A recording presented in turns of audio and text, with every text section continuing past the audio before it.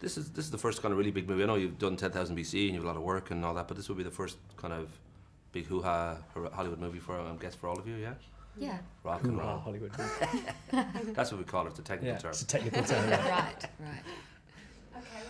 I know the beautiful Peter Jackson said that when it came to this movie, because of the subject matter, we're dealing with a very dark subject matter. A 14 year old girl is, is raped and murdered. He wanted to make sure that there was humour within that and, and that, that he could, you know, within the movie itself. And I don't know whether he kind of approached you in, in that respect and said, this is the kind of tone I'm looking for, or whether it was pretty obvious from the script. Well, we knew that. I mean, the story has enough darkness. The whole the, the matter is really weighty enough. So the the real agenda for us and for everybody making the film was to find the light and was to find, you know, often around really tragic circumstances, you you do laugh more than anywhere else. Like I've you know when I've lost family, friends, and things, it's always been the time where you cry the most, but you also laugh the most, and it's really about finding that dynamic.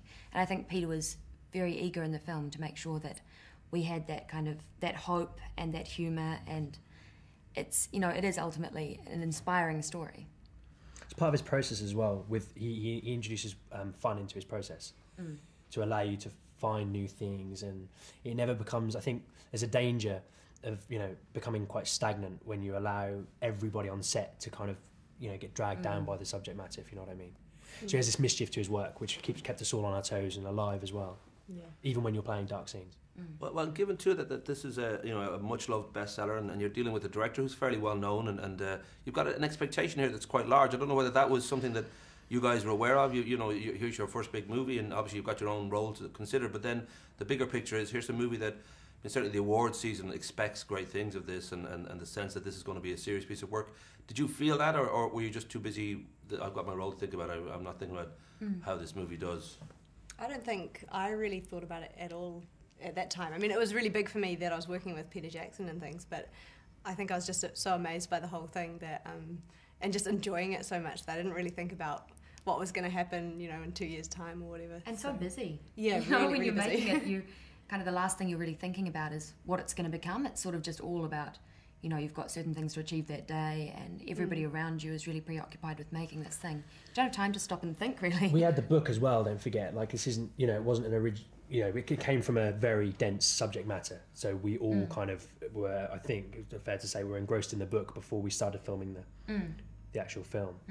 So you know, we, we kind of came on board just trying to honour the very you know kind of serious subject yeah of the book. Well, just considering the, the, the, the individual characters, I'm just thinking for you, Reece, for example, now you're given that sort of almost that Edward Cullen treatment where you are the ide- idealized boyfriend that never was. thanks, yeah. That sense of, you know, that this is the guy that she, Saoirse's character, uh, Susie, would, would, you know, feel is her first love but never quite gets there.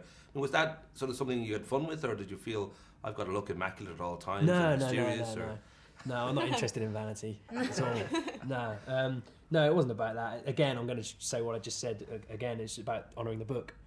And Alice Sebold, you know, had this fantastic piece of work that we just we had for reference. So it wasn't about you know playing it a certain way. I, we had all the tools we needed. I think. yeah And, and for you, Rose, your character quite goes on quite a journey. You've got you know you've got a sense that you're I mean, slightly sarcastic sister, the, the usual dynamics in a family, and then you've got to deal with Susan Sarandon's wonderfully almost Cruella de Villiers kind of grandmother, and, and you've got to deal with your own first love story, and, and yet Yeah. go through a, a, this uh, this kind of Boo Radley experience with with uh, Stanley Tucci's character.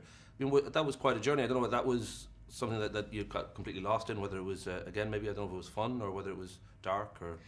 Well, I had a lot of fun making it, and it was. I mean, it's really interesting to be able to play from 11 to 18. It's it is a vast scape. So much happens in those years, and I mean, to be honest, they're all experiences that I've had. It's just a matter of kind of tapping in and finding where you are at at all those different stages. So that's physically and emotionally, and and also having an amazing team around me, you know, costume and makeup that can that can help you facilitate that. But um, I did. I found like in, initially when Susie first dies at the start of the story, um, Lindsey really works to to kind of identify herself as her own person. She doesn't want to be seen as Susie's sister, or sister, yeah, or the sister of the murdered girl. So that's kind of that's really where she starts. And then I think throughout the story, as it progresses, she realizes more and more that in order to be her own person, Susie's murder has to at least be put to some sort of rest within her family. So it's like it's a real learning curve for, for her throughout the story as well, which was great because it gave me a really distinct motivation for making it. And for you, Caroline, you look you look so different now. So I don't know whether the character is anything like you, or whether you, you kind of could tap into anything with that sort of. Uh, I was I was actually really surprised when I got the role because I thought that um, Ruth was completely different to how I am, um, but it was really fun, like learning to be that character because I got to do so many things that I would never do otherwise. I actually went to a, um, a life drawing class one time and I really enjoyed it and I actually found I had like a bit of maybe a bit of talent or something in drawing. I was actually quite good. I was, I was pretty good. That's it. How about that? but, but, but yeah, but I would never I would never have even thought of doing something like that if I hadn't gotten the role. So it was really fun being somebody completely different for once. Well, we're at the sort of just the beginning of the wave of this movie coming out, and, and I don't know whether, how it feels for you if you've got your surfboard ready for all this sort of madness that can come with a, a fairly big release. And I know you've had some experience. You were in 10,000 BC, and of Mm. course you did the bill. You're English, you have to do The the, bill. I think Everybody's that's, uh, done that's the quite a lot. You've done some, a lot of work as well in New Zealand. You've had, had a, even Power Rangers, I think, this year. Well Yeah. done, very very good. But for all of you, it's kind of like the first big step out there. I don't know whether that's uh, all exciting or whether there's a slightly slightly terrified by.